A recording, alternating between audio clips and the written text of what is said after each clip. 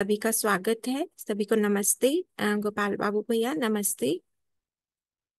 तो सभी का स्वागत है इस सुबह के सत्र में मॉर्निंग सेशन में। जिसमें हम लोग एक्सरसाइज वन कर रहे हैं, स्वयं से स्वयं को देखना।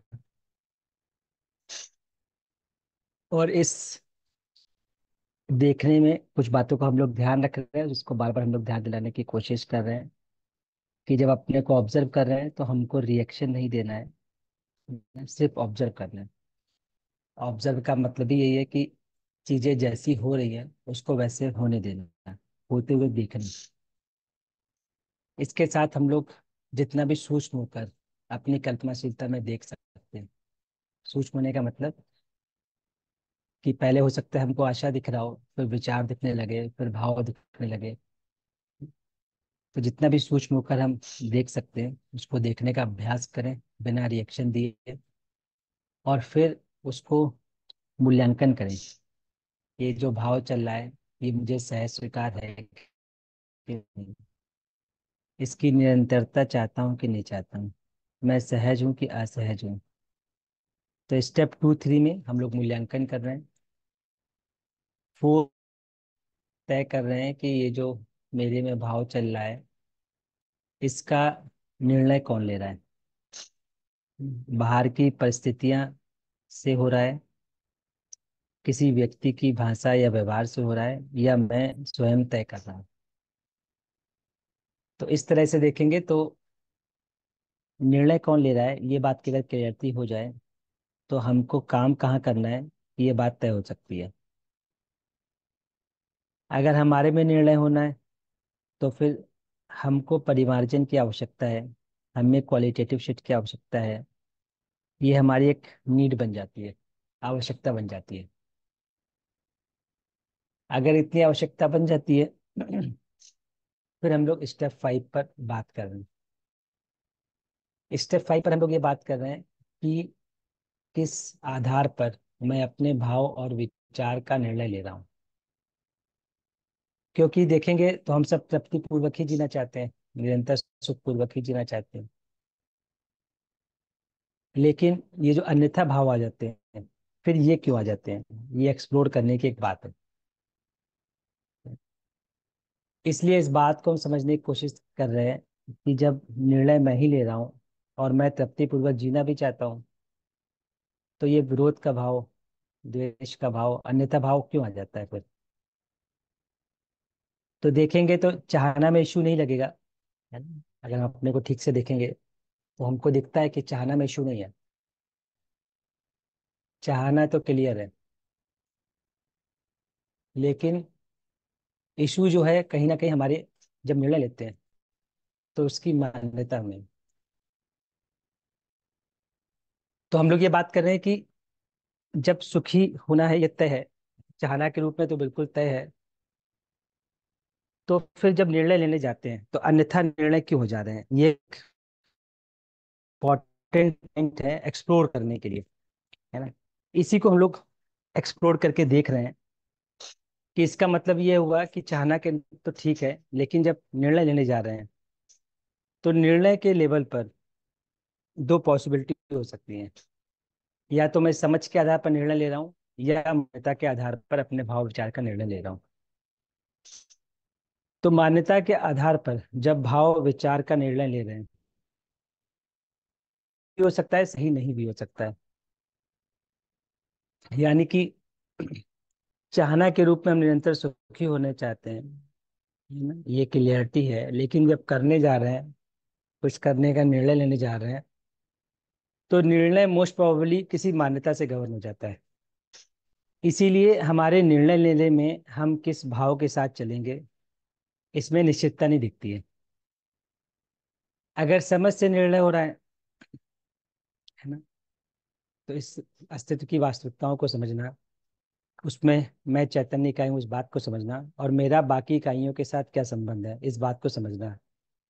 अगर इस समझ से निर्णय ले रहा है, ले रहा हूँ तो उसमें एक निश्चितता बनी रहती है। फिर जो मैं चाहना है मेरी, निरंतर सुखपूर्वक जीने की, और जो मैं निर्णय ले रहा हूँ, ये दोनों अलाइन हो जाते हैं।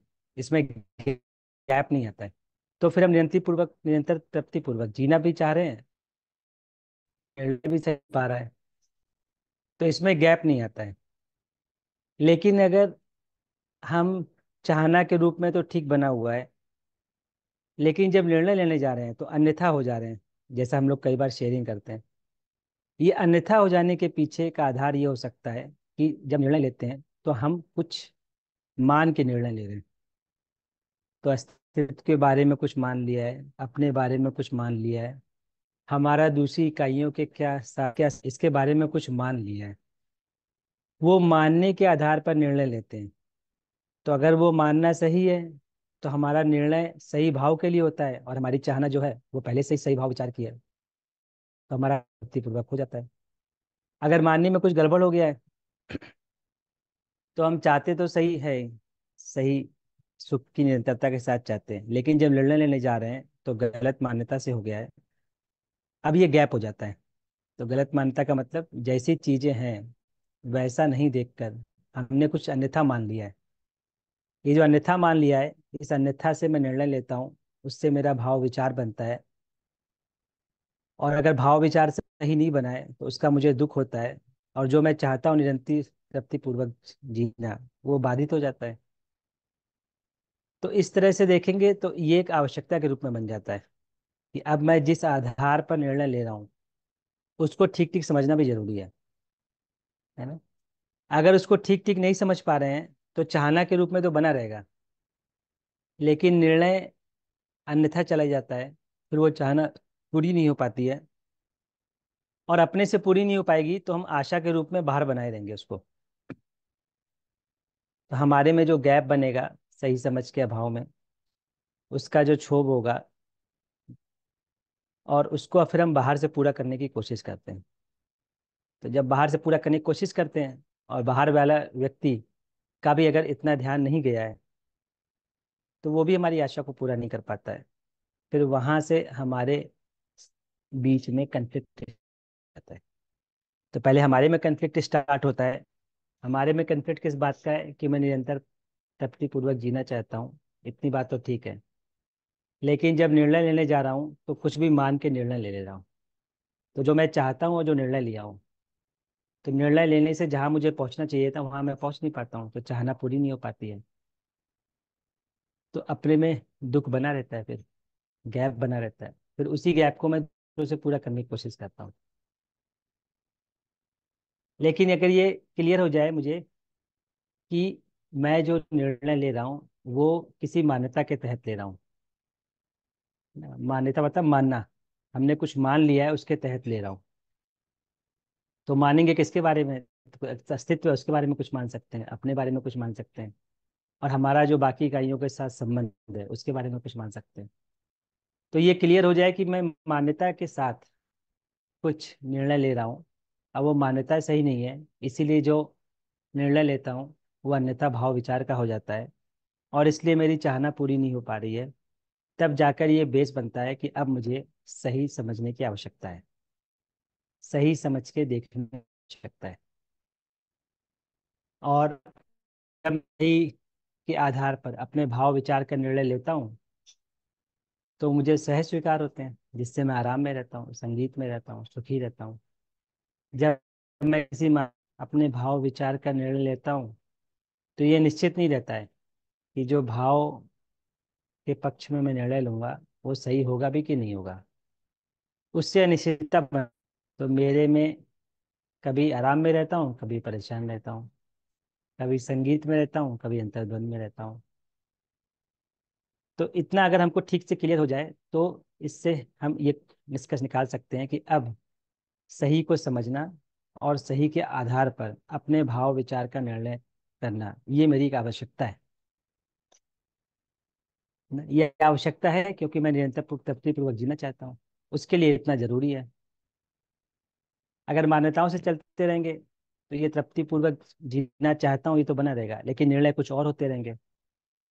उससे जो दुख बनेगा, उसको मैं आशा के रूप में दूसरों से पूरा करना चाहूँगा तो वो एक अलग तरह का झंझट है।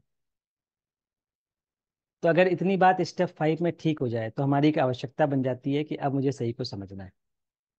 तो जैसे एग्ज़ाम्पल के लिए, यदि मुझे मानव मानव संबंध की सही समझ है, मानव को सही से समझा है तो अपने को मानव के रूप में समझा है, दूसरे को भी मानव रूप में समझा है तो मुझे में हर व्यक्ति के लिए संबंध का भाव रहता है। और उस संबंध में जो सहज भाव है, विश्वास का भाव, सम्मान का भाव, स्नेह का भाव, वो मुझे सहज स्वीकार होते हैं। और इस भाव के साथ मैं अपने में हारमोनी में रहता हूँ संगीत में रहता हूँ सुखी रहती हूँ। जब मैं सही समझ के आधार पर अपने भाव विचार का निर्णय लेता हूँ तो वैसे भाव विचार का निर्णय लेता हूँ जो मुझे सहज स्वीकार रहते हैं। इससे मेरा सुख ही होना हम्म, तय हो जाता है। यदि मुझे संबंधों की सही समझ नहीं है मैंने कुछ मान लिया है तो अपने को शरीर और चैतन्य इकाई के अस्तित्व के रूप में ना देखकर, मैंने मानव के रूप में नहीं समझा है, कुछ मान लिया है। और दूसरे व्यक्ति के बारे में भी कुछ मान लिया मैंने। अब मेरे भाव विचार क्या चलेंगे? इन मान्यताओं पर निर्भर करेंगे। तो अगर इन भाव विचार का आधार संबंधों की सम तो कुछ भी अन्यथा भाव विचार बनने की संभावना बन जाती है। तो यदि मैं मानता हूँ कि माओ, मानव का मूल्यांकन उसके संप्रदाय या वर्ग के आधार पर करना है तो मुझमें अपने संप्रदाय या वर्ग के लिए संबंध का भाव बना रहता है और उनके साथ मैं कंफर्टेबल फील करता हूँ। लेकिन जब दूसरे तरह के लोग आते हैं तो उनके लिए विरोध का भाव बन जाता है है ना? क्योंकि मानना से स्टार्ट किया है तो मान्यता से जो भाव विचार हो रहा है उसमें निश्चितता हो नहीं पाती और जब मैं अपने भाव विचार का निर्णय अपनी मान्यता के आधार पर करता हूँ तो यह भी निश्चित नहीं हो पाता है कि मैं किस भाव के पक्ष में निर्णय करूँगा। मेरी स्थिति क्या होगी? इनकी निश्चितता नहीं होती है। मैं ये भी तय नहीं कर पाता हूँ कि मैं आराम में रहूँगा कि परेशान में रहूँगा। मैं बस मान्यता बस कुछ निर्णय ले लेता हूँ। इसलिए इतने बैकग्राउंड के साथ अब इस बात का एक नीड बनती है कि स्वयं में सही समझ का होना ज़रूरी है। क्योंकि समझ के अभाव में जो मैंने मान लिया है, उससे जो मेरे भाव विचार चल रहे हैं, उससे मेरी चाहना पूरी नहीं हो पा रही है। ना कि दूसरे व्यक्ति के व्यवहार, भाषा के कारण मेरी चाहना पूरी नहीं हो पा रही है। ना कि बाहर की परिस्थिति के कारण मेरी चाहना पूरी नहीं हो पा रही है। मेरी चाहना पूरी नहीं हो पा रही है क्योंकि जब मैं निर्णय लेने जाता हूँ तो उसके पीछे समझ ना होकर कोई ना कोई मान्यता होती है। और ये मान्यता को अगर ठीक से एवेल्युएट नहीं किया है तो ये अनिश्चितता बनी रहती है। तो कभी भी मैं सुखी हो सकता हूँ टेम्परेली कभी दुखी भी हो जाता हूँ तो ये अनिश्चितता मेरे में बनी रहती है। इसीलिए सही समझ आवश्यक है। सबके बारे में जिनसे मेरा संबंध है, जिनके साथ मैं जीता हूँ, इसको फैलाएँगे तो मेरा संबंध संपूर्ण प्रकृति के साथ है, संपूर्ण अस्तित्व के साथ है। इसलिए मुझे संपूर्ण प्रकृति, संपूर्ण अस्तित्व को समझने की आवश्यकता है और यह निर्णय करने की आवश्यकता है कि मनुष्य और मनुष्य के अलावा प्रकृति के साथ जीने की संदर्भ में कौन से भाव मुझे सहज स्वीकार। इसीलिए सही समझने की आवश्यकता बनती है। तो इतने बैकग्राउंड के साथ ये होमवर्क हम लोग कर रहे हैं कि अपने साथ घटने वाली सारी घटनाओं तथा दूसरे व्यक्तियों के साथ होने वाले आदान प्रदान में अपने भाव का मूल्यांकन करें और अपने आप से पूछें कि इस निर्णय का आधार क्या है। तो हर पल हम निर्णय तो ले ही रहे हैं। व्यक्ति के साथ इंट्रैक्शन कर रहे हैं तो भी निर्णय ले रहे हैं। प्रकृति के साथ इंट्रैक्शन कर रहे हैं तो भी निर्णय ले रहे हैं। तो निर्णय तो हम ले ही रहे हैं। अब एक इंपॉर्टेंट स्टेप ये है कि हर बार अपने से पूछें कि लिया है, भले सही हुआ हो या सही नहीं हुआ हो, सही में भी अपने से पूछें कि ये निर्णय मैंने समझ के आधार पर लिया या मान्यता के आधार पर लिया है? वो मान्यता जो समझ के अभाव में बनी है। कुछ अन्यथा निर्णय हुआ है तो भी अपने से पूछे। ये जो मैंने निर्णय लिया है, ये समझ के साथ लिया है, या समझ के अभाव में किसी मान्यता से लिया है? अब ये दोनों ही बातें अपने से पूछना है। तो अब बहुत ही पिन पॉइंट चीज़ें होंगी कि अब मैं अपने निर्णय को ठीक से देख रहा हूँ कि समझ के आधार पर है समझ के आधार पर नहीं है। फिर हम अपने से देखें, क्या मुझे लगता है सही समझने की आवश्यकता है? सही भाव को सही समझ के आधार पर तय करने की आवश्यकता है। अगर ये आवश्यकता के रूप में दिखने लगेगा, तब हमारी जो चाहना है, निरंतर सुखपूर्वक जीने की, निरंतर तृप्ति पूर्वक जीने की, और जो हम निर्णय लेंगे, उसमें सामंजस्यता होगी एक रूपता होगी। और जब सामंजस्यता होगी तो हमारे निर्णय और हमारी चाहना, ये दोनों अलाइन हो जाएँगे। तब मैं तृप्तिपूर्वक जीने का जो चाहना है, ये पूरा हो सकता है।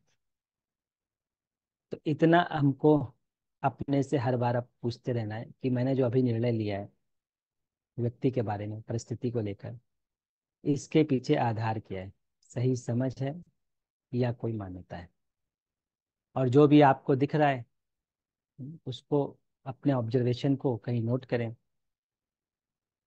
नोट करने से शार्पनेस और बढ़ती है। नोट करने से हमारा ध्यान जाएगा।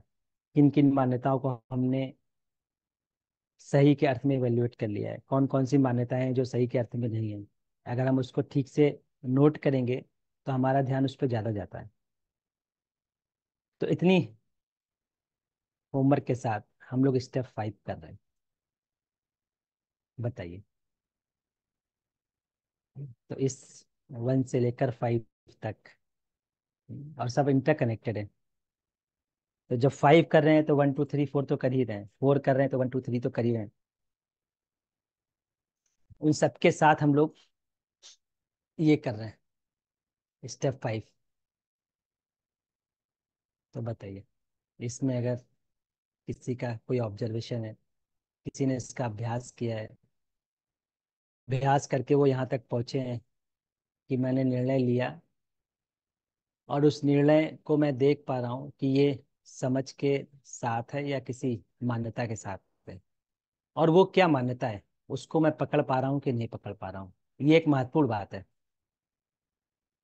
फिर मैं ये देख पाऊँ कि किस वास्तविकता को मैं नहीं देख पाया जिसकी वजह से ये मान्यता बन गई है। फिर उस वास्तविकता पर ध्यान देना।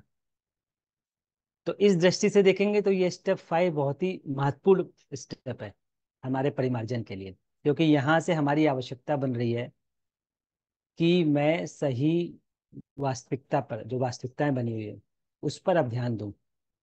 नमस्ते। नमस्कार सर नमस्कार जी। जी नमस्ते।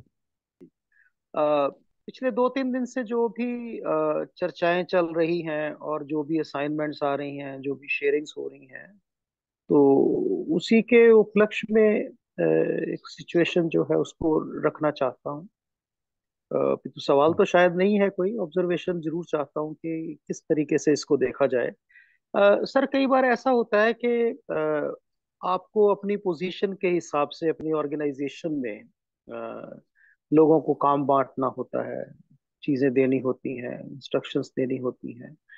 तो हम इस बात को भी अच्छी प्रकार से जानते हैं कि जो भी हमारे साथ लोग काम कर रहे होते हैं जिनके साथ हमारा ऑफिशियल रिलेशनशिप होता है तो उसमें कुछ लोग ज़रूर ऐसे होते हैं जो कभी भी अपना कंफर्ट जोन जो है उसको छोड़ना नहीं चाहते।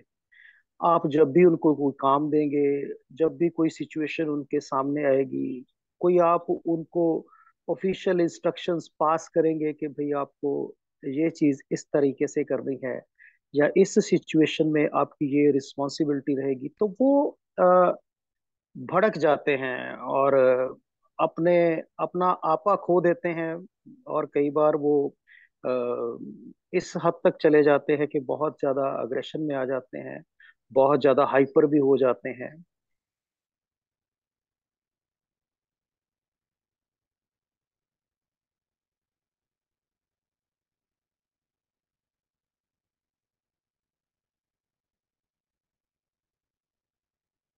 ये चीज़ थी कि अगर कोई बंदा एक बात करे तो उसको दो बात का जवाब दिया जाए और उसको चुप करा के ही छोड़ा जाए।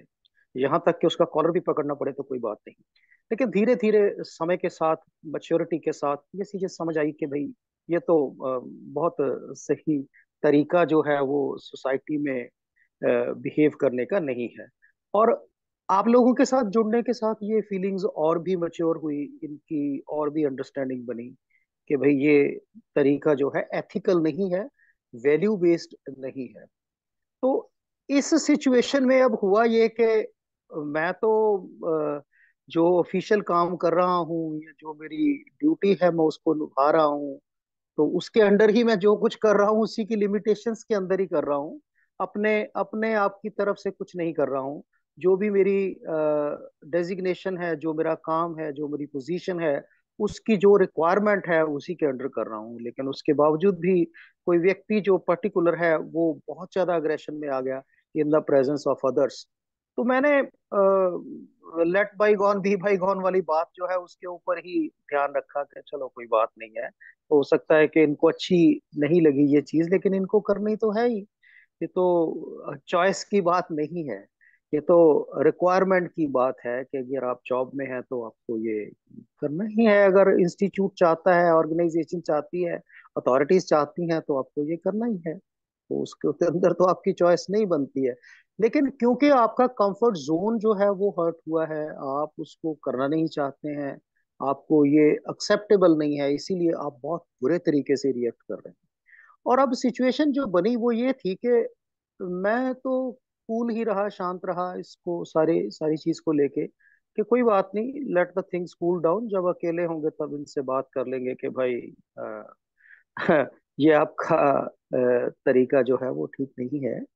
तो लेकिन उन्होंने मतलब जब मैंने उनको जवाब नहीं दिया उस मीटिंग के अंदर या उस गैदरिंग के अंदर तो उन्होंने मेरे को प्रोवोक करना शुरू कर दिया कि अच्छा आप ये सब कुछ करके तो अब आप चुप करके बैठ गए हैं। अब आपको बात क्यों नहीं आ रही है? अब आपको जवाब क्यों नहीं आ रही है मेरे सवालों का?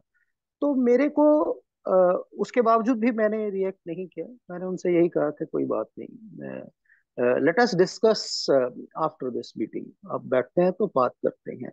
तो अब मेरी जो सिचुएशन है वो ये है कि उसमें इस तरीके की जो सिचुएशन है उसके अंदर हम किस चीज़ को एनालाइज करें? क्या इस चीज़ को देखें कि भाई जो मैं कर रहा हूँ वही ठीक है कि मैंने रिएक्ट नहीं किया कोई बात नहीं। वो बंदा भड़क गया अग्रेशन में आ गया हाइपर हो गया कोई बात नहीं। लेकिन दूसरी तरफ़ दूसरे लोग जो हैं वो ये सोच रहे हैं और बात भी कर रहे हैं कि भाई सर आपने तो आ, कोई जवाब ही नहीं दिया। तो मेरे लिए ये एक पैराडॉक्सिकल सिचुएशन जो है वो बनी। तो मैं इसके बारे में थोड़ा सा आपका विचार चाहता हूँ कि ये कैसी सिचुएशन है उसमें सही क्या है? क्या जो मैंने एक्शन किया क्या वो आ, सही था? Was it based on the right understanding of the situation या फिर आ, जो कुछ भी हुआ उसमें मैं जो है वो पैसे हो गया और मैंने मतलब उसको जवाब नहीं दिया सही से तो उसमें मैं भी नेगेटिव में चला गया। ये सारी एक सिचुएशन है। जो पिछले दो तीन दिन में घटित हुई तो मैं चाहता था कि आप लोगों के साथ इसको शेयर किया जाए। जी गोपाल सर। जी मेरी आवाज़ आ रही है आपको? जी सर आ रही है आवाज़ थोड़ी कम है लेकिन आ रही है। ठीक है I am able to listen जी जी। एक मिनट। जी। तो एक तो भैया ये एक तो ये बात आपके साथ हो ही रही है, जो कि एक तरह से अच्छी बात है कि आप बाहर की परिस्थिति या व्यक्ति जो हो रहा है, वो हो रहा है है ना? आप अपने में इस बात को देख के तय कर पा रहे हैं कि अभी हमारे में क्या भाव विचार रखना है। तो इस तरह से देखेंगे तो हम बाहर से जो जुड़ के तुरंत ही निर्णय ले फिर उससे हमारे भाव विचार अन्यथा हो जाते थे उसका हमको दुख मिलता था। उस दुख से हम व्यक्त होते थे। और जब व्यक्त होते थे तो उसको भी व्यक्ति स्वीकारता नहीं था। तो दुख का इंटेंसिटी बहुत बढ़ जाता था। अभी देखेंगे तो एक बात तो हो ही रही है कि बाहर जो व्यक्ति कर रहा है उसका प्रभाव जो मेरे में इमीडिएटली आ, आ जाता था। अब वो नहीं हो रहा है। तो इस सेंस में तो ये बात ठीक हो रही है। आगे की बात देखेंगे अगर तो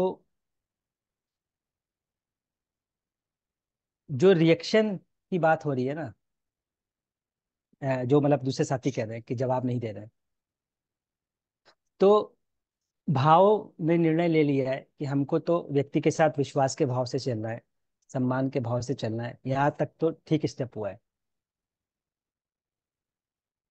रिस्पॉन्स भी करना है। है उसको कंफर्टेबल होने देना है, उसको रिस्पॉन्स भी करना है। क्योंकि देखिए, व्यक्ति क्या है, अगर देखेंगे ये आपके सिस्टम की बात नहीं है, ये तो हर सिस्टम में देख सकते हैं, हर कॉलेज की कहानियाँ ये। तो अभी देखेंगे कि व्यक्ति अपने आप में इतना ट्रैप है अपने में इतना बना देते हैं और कुछ भी मान के बैठ जाते हैं कि वो पहले से ही अपने में बहुत अंतर्विरोध में लोग जी रहे हैं। और उस पूरे सिस्टम में देखेंगे तो उसके अंतर विरोध को समझने का समय किसी के पास है नहीं। एक तो उसके पास भी रास्ता नहीं है। इसके अंतर विरोध को समझ के एड्रेस कर दें। इसका स्कोप भी सिस्टम में नहीं है। तो व्यक्ति इंटरनली ना बहुत परेशान घूम रहे हैं। छोटी बातों को बहुत कॉम्प्लेक्स बना लेते हैं हेल्पलेस हो जाते हैं, है ना? तो दुख के साथ ही पूरा चल रहा है। तो अगर अपने में इतना हमको दिख जाए कि मेरे लिए तो उसके लिए विश्वास के भाव का ही निर्णय ठीक है, सम्मान के भाव का ही निर्णय ठीक है। अब इस निर्णय के साथ, उसके साथ कम्युनिकेशन करना और उसको कंफर्ट करना। अब उसमें भी अगर ध्यान से देखेंगे तो अभी क्या होता है, हम ज़्यादातर समय व्यक्तियों के साथ तभी इंटरेक्शन करते हैं जब कुछ काम होता है। क्योंकि सिस्टम का डिज़ाइन भी वैसे ही है और कुछ हमारी मान्यता भी वैसे ही है। तो जब हमको काम होता है, तब हम लोगों के साथ इंटरेक्शन करते हैं। तो काम को सेंटर में रख के इंटरेक्शन स्टार्ट करते हैं। तो व्यक्ति का जो संबंध से हमारा जुड़ना है, भाव से हमारा जुड़ जाता है। और कहीं ना कहीं हमको तो सम्मान कर देगा तो उसमें जो अभी मैं कह सकता हूँ, वो इतना ही कह सकता हूँ कि संबंध को हम प्रॉटी में अगर रख के चलते हैं तो जब काम नहीं भी पड़ रहा है तो भी हम व्यक्ति के साथ इंटरेक्शन करते हैं। और उससे वो काफ़ी कंफर्ट ये सामने वाला व्यक्ति, है ना, मुझसे संबंध को देख पाता है, मुझे समझ पाता है। इसके साथ जब काम हम किसी के साथ रखते हैं तो व्यक्ति उसको स्वीकारता है, वो स्वीकार रहा है। अभी क्या है, बहुत सारी मान्यताओं के तहत वो हमको भी नहीं स्वीकार रहा है, सिस्टम को भी नहीं स्वीकार रहा है, इसलिए काम भी उसको बहुत बर्डन लगता है, बोझ लगता है उसको। ये बोझ लग रहा है क्योंकि वो व्यक्ति को नहीं स्वीकार रहा है, उस सिस्टम को नहीं स्वीकार रहा है। तो कम से कम व्यक्ति का व्यक्ति से इंटरेक्शन होने लगे ठीक से, है ना? हमारा को वो स्वीकारने लगे, उसके साथ जब हम काम को अगली बार देंगे ना तो वो ज़्यादा बेटर तरीके से स्वीकार के कर पाएगा। जैसे आप घर में देखेंगे ना, जब शादी होती है, बेटी की, बहन की तो दो तरह के लोग काम कर रहे होते हैं। एक वो तरह के काम लोग होते हैं जो संबंधी होते हैं। चाचा, ताऊ, मामा, है ना, बुआ, ये सब लोग। एक हम लोग बाहर से लोगों को हायर करते हैं। आप देखेंगे जो संबंधी देख रहे हैं, उस व्यक्ति के साथ वो उनसे ज़्यादा काम कर देते हैं। कम कंप्लेन में सोल्यूशन ओरिएंटेड होते हैं। कोई भी समस्या आती है, तुरंत सोल्यूशन निकालते हैं, आगे बढ़ते हैं। जिनको पैसे देकर हम काम करवा रहे होते हैं, वो थोड़ी देर बाद बैठ जाते हैं। इतने पैसे में इतना ही होगा। या ये तो आया नहीं, अब मैं क्या करूँ? वो सोल्यूशन ओरिएंटेड नहीं सोच पाएँगे। तो मुद्दा काम और काम के पीछे संबंध और संबंध के पीछे संबंध का भाव, ये एक इम्पोर्टेंट बात है। तो अगर हम प्रियोरिटी पे इस बात को रखते हुए संबंध संबंध के लिए भाव और फिर काम को अगर हम रखते हैं तो मुझे लगता है व्यक्ति के स्वीकारने की प्रोबेबिलिटी बढ़ने लगती है। अभी का डिज़ाइन जो है उसमें यही है, हम काम पड़ता है तब व्यक्ति के को ध्यान देते हैं। तो व्यक्ति हमसे कनेक्ट नहीं होता, जुड़ता नहीं है, इसलिए काम को भी नहीं स्वीकार कर पाता। एक पॉसिबिलिटी ये हो सकता लेकिन जो आप कह रहे हैं दूसरा, उसका तो मैं सिंपल ही आंसर भी कर रहा हूँ कि कुछ बोलना नहीं है, ऐसा नहीं कह रहे हैं। अब हम जो भी उसके सामने रखेंगे, भाव के साथ, विश्वास के भाव के साथ, सम्मान के भाव के साथ, उसको सुनेंगे, उसको कंफर्ट करेंगे, है ना? फिर जो कहना है, उसको वो बात भी बोलेंगे। तो अभी आवेश में धीरे धीरे आवेश शांत होगा, फिर हम उसकी बात रखेंगे और रखेंगे और उसको सुनेंगे सुनेंगे नहीं और तो उसको सुनेंगे रखेंगे तो उससे हमारा उसका जुड़ाव होगा ये जो हमारा उसका कनेक्शन होगा इससे उसको वर्क करने में दिक्कत नहीं होगी मुझे अभी ऐसा लग रहा है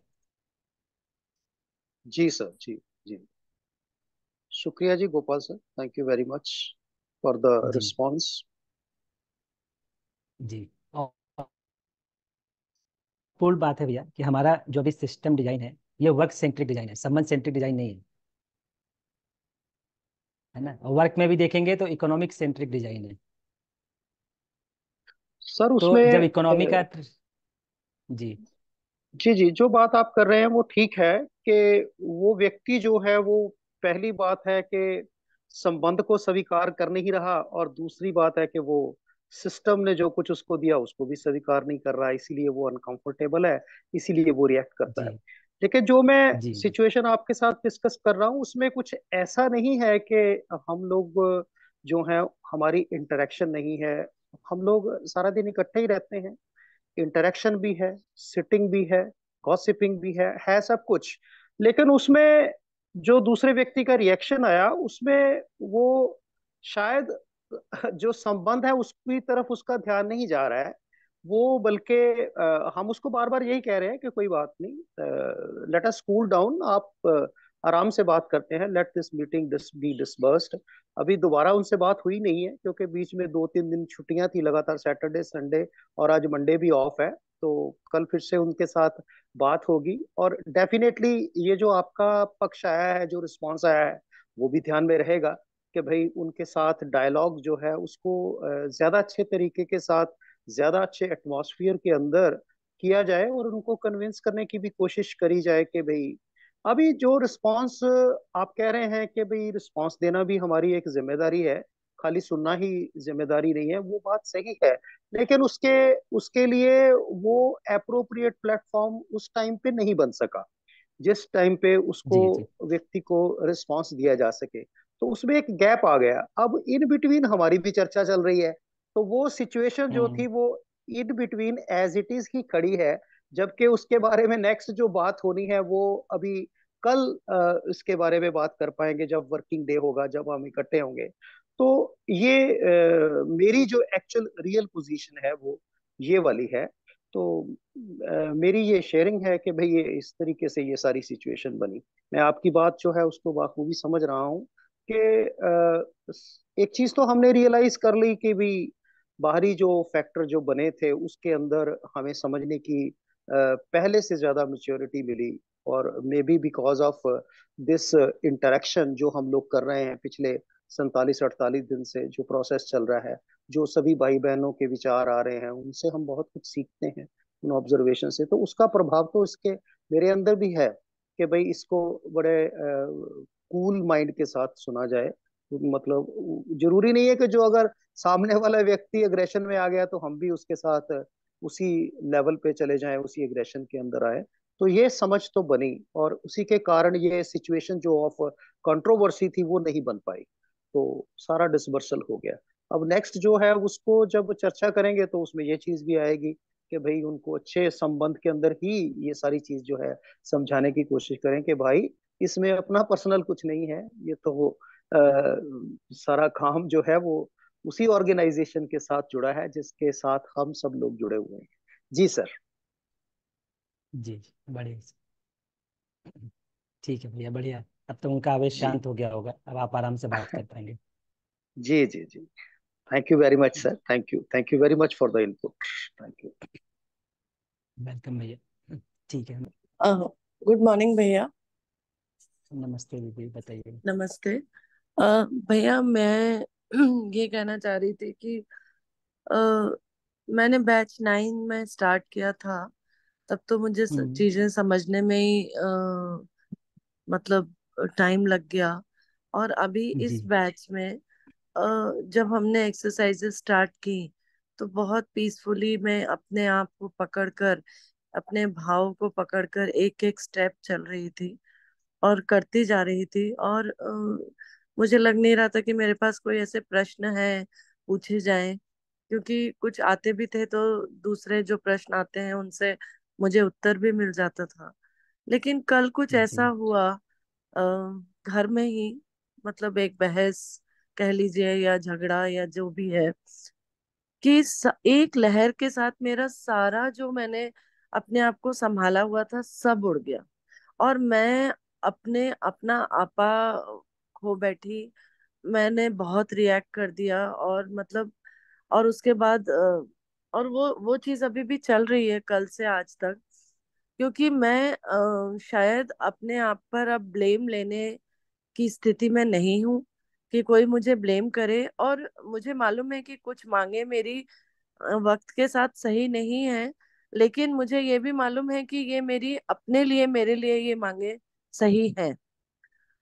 और दूसरी बात मतलब मैं अपनी फैमिली छोड़कर भी नहीं जा सकती हूँ, ये भी है और मुझे अपना करियर का भी मतलब अभी तो मैं जॉब नहीं कर रही हूँ तो देखना है।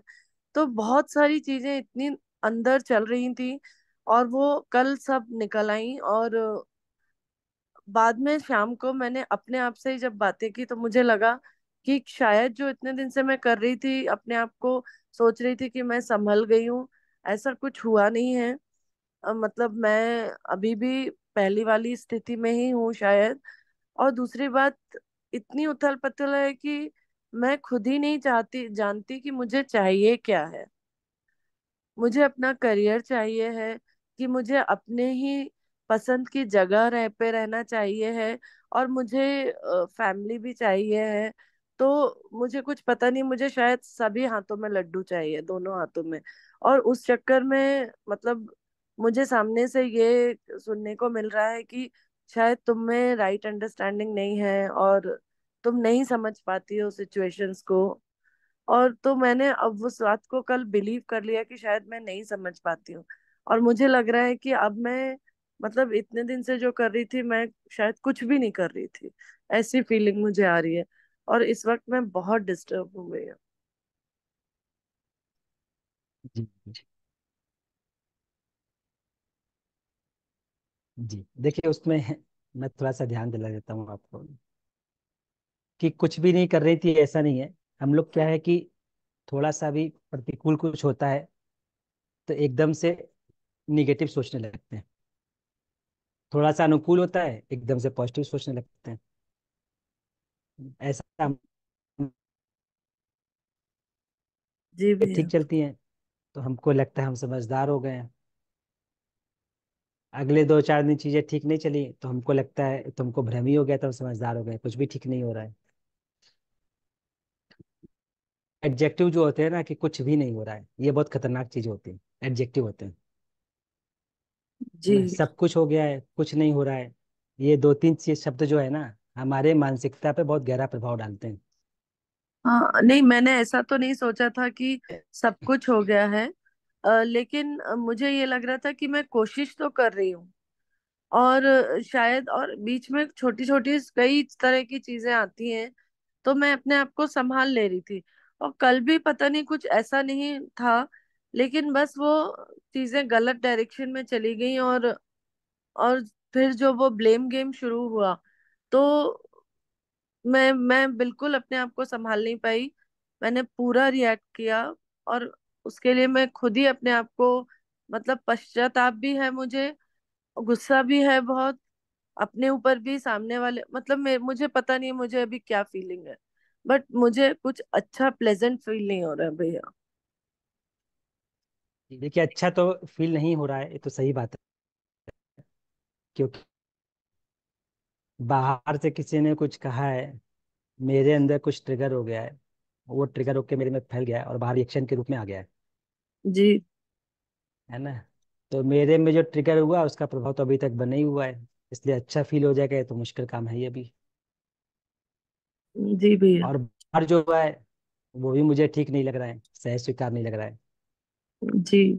क्योंकि एक तरफ़ ये भी रहता है कि इतना रिएक्शन हो गया बना के रखा अब फिर उतनी मेहनत करनी पड़ेगी।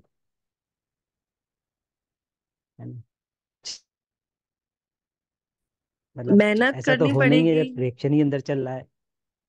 जी भैया जी। और मैं समझ रही थी अंदर मतलब मैं ठीक हो गई हूँ पर ऐसा हुआ नहीं है क्योंकि कल जिस तरह से जो हुआ है उससे मुझे लग रहा है कि अभी भी अंदर बहुत कुछ दबा हुआ है और वो मुझे ऐसा लग रहा था कि शायद वो अब धीरे धीरे ठीक हो रहा है पर अभी क, मतलब पता नहीं कैसे मुझे लग रहा है कि मैं गलत उसमें थी या वहम में थी, बहुत कुछ है अंदर अभी। और इसके लिए शायद मुझे